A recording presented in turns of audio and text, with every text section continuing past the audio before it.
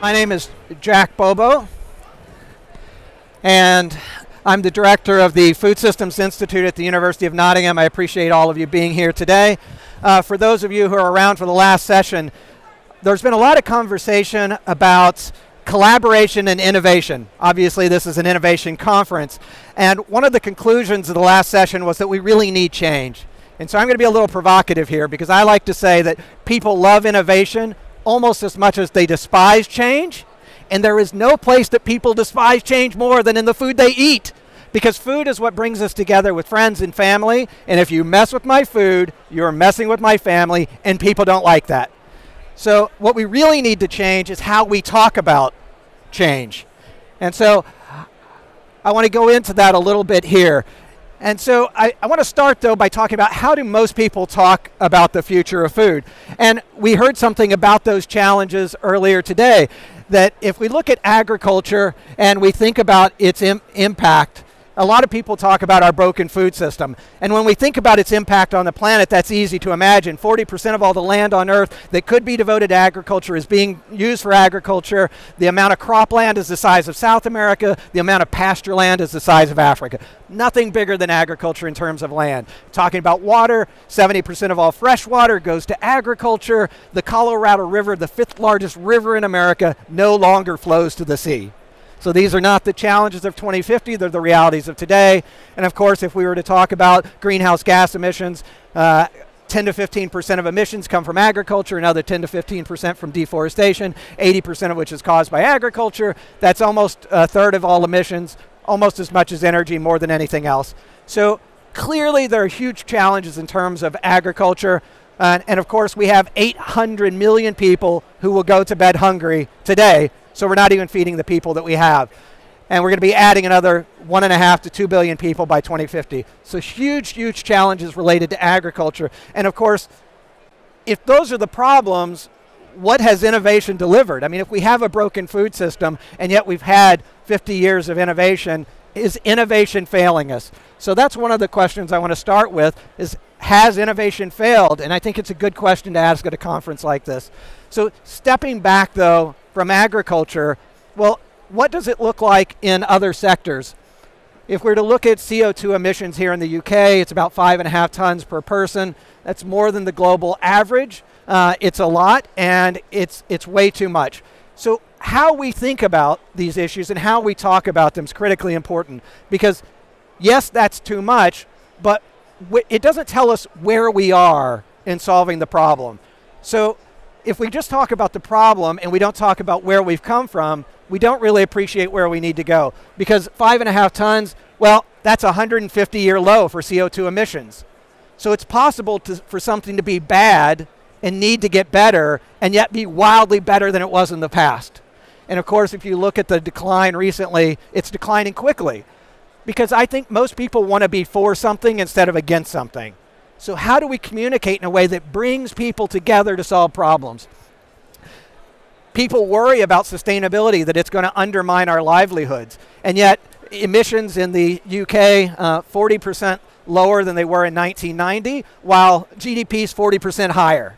We've decoupled sustainability from emissions. We should be enthusiastic and hopeful about this, and yet people worry about the cost to their livelihoods of sustainability.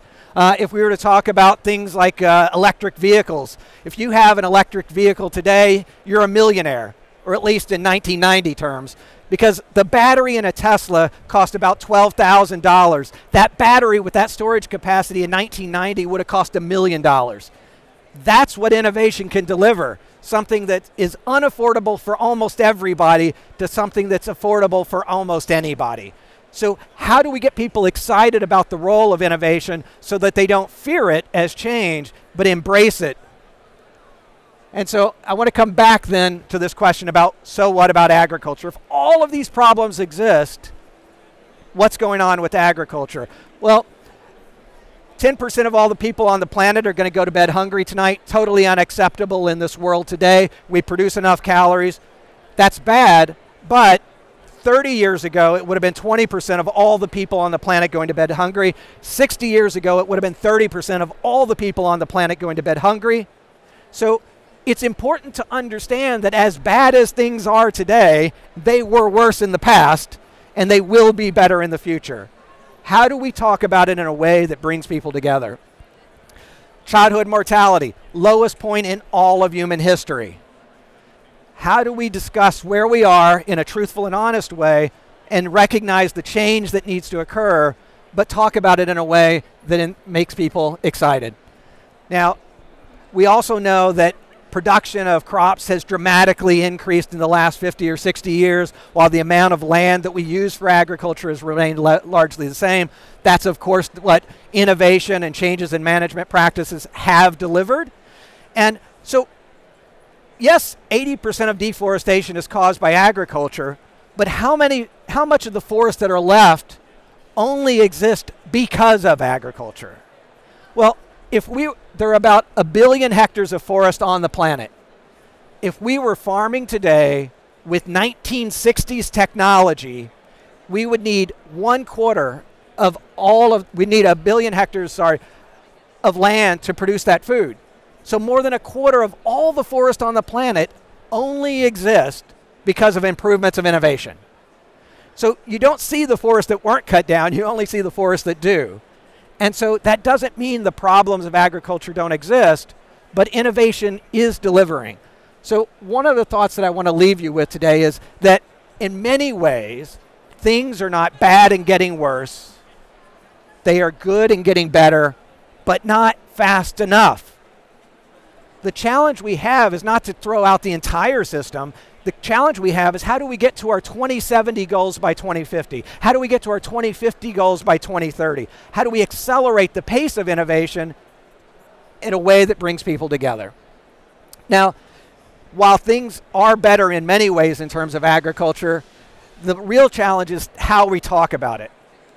Because we can talk about it in a way that further divides and polarizes and makes it impossible to have change or we can talk about it in a way that brings people together. Now, in the next panel, we're going to talk a little bit about food, and I do want to sort of lay out the challenges that do exist when it comes to food. Uh, I'm going to use some U.S. statistics. 42% of our Americans are obese, 75% are overweight or obese. It's about 36% here in the U.K. But before 1975, basically not a single country on the planet had an obesity rate above 15 percent. Today, basically no country on the planet has an obesity rate below 15%. That's how quickly change can happen, not because people were advocating for it, but because our food environment has changed. So things in terms of agriculture are not just bad, but they're wildly bad. 50% of all Americans have a diet-related chronic illness. The cost to the US economy is about 1 trillion US dollars the cost to the global economy of the food we produce, mostly related to health, is 10 to 12 trillion dollars. That's 100 billion pounds in the UK alone. So agriculture, there's progress in terms of food, moving wildly, wildly in the wrong direction. The next panel will talk a little bit more about this. So again, how do we think about and talk about this differently? So one of the things that I want to do to set up this next session is really the mindset we have, and this was discussed a little bit in the last section, uh, the last session. How do we change our mindset to think differently about the future? Now, for most people, when they think about the future, they ask two questions. They ask, what do I think will happen, and what should I do about it? Right? I, I suspect that many of you, when you're thinking about what to do about the future, you're asking, well, what do I think is going to happen, and what should I do? There's a problem with that, though. And the problem with it is, and so I'm going to use, so, so before I go to the video clip, the problem with it is that what we're really doing is we're preparing for a future that we don't want, right? We're, we're preparing for a future we expect. How many people here think the most likely future, the one that you expect, is the best possible future that we could hope for? Does anybody think we're aiming for the best possible future? No. Okay. All right. We have at least one person in the room who does. I, I appreciate that. All right. So thinking about the future, how do we change our mindset? So now I want to use an example of Steve Ballmer. And this is the person who was the president of Microsoft. And he's talking the day that the Apple iPhone came to market.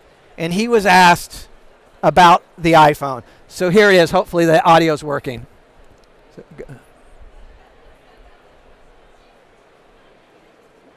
And I can't hear the. Okay.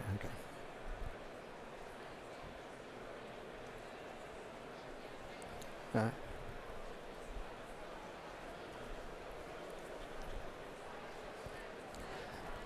so, so hopefully you guys were able to hear it. Okay. So here's the person who's the president of the biggest technology company in the world at the time, who hasn't a clue what the impact of innovation sitting in the palm of his hand actually means. And that's because the questions he's asking about plans and how a person uses it, he's thinking about how they use it today, not how they're going to be using it five or 10 years from now. So that's what I want us to do in terms of our mindset is we need to stop preparing for the future that we expect and we need to start creating the future that we want. Because if we have a vision of where we want to go, well, what I need to do next to get to my preferred future is wildly different than what I need to do tomorrow to prepare for that bad future that I'm expecting. And so, if we can change our mindset, we can do it in a way that actually excites people because it's a hopeful vision of the future. It's a future in which we have sustainable, healthy, ethically produced food that we all want. Now, we may disagree on how we're going to get there, but if we all have a shared vision for the future, we have a much more a much better opportunity to get there. And so I want to end though by talking about why now matters. Why this particular moment is so critical. Now, you already know that we're going from 8 to 9.5 billion people on the planet by 2050. And that's where most conversations about the future stop. But what happens after 2050? Well, after 2050, population growth slows dramatically because we're not having more children. We have already reached peak child. The number of children born next year will be less than this year, and they will be less the year after that, the year after that, and the year after that. We have reached peak child. So the challenge we have is not to produce more and more food forever. It's to get to 2050 without cutting down our forest and without draining our rivers, our lakes, and our aquifers. Because if we do, we are good forever. Everything after 2050 is an opportunity. If we get there, every day between now and 2050, it gets harder to feed the world. Every day after 2050, it will get easier to feed the world if we haven't screwed things up. So, the thought I want to leave you with before I end is that the next 25 years are not just the most important 25 years there have ever been in the 10,000 year history of agriculture, and they are, they're the most important 25 years there will ever be in the history of agriculture. And that's why we got, have to get it right. And that's why the work we're doing on innovation is so critically important.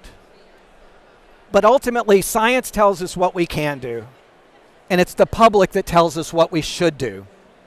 And if we do not have the social license to bring these innovations to market, what will happen is we will get to 2050, we will have all the solutions to create a sustainable and nutritious future, and we won't get to use them.